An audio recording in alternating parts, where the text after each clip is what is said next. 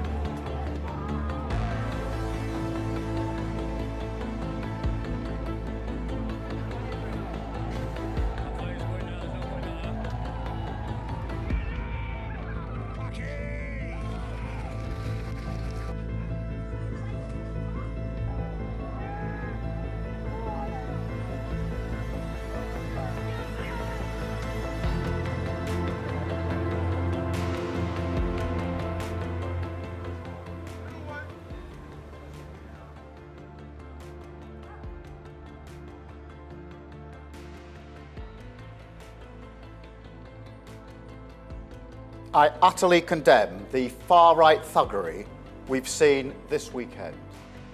Be in no doubt, those that have participated in this violence will face the full force of the law. If you target people because of the colour of their skin or their faith, then that is far right, and I'm prepared to say so. But it doesn't matter what apparent motivation there is. This is violence, it is not protest.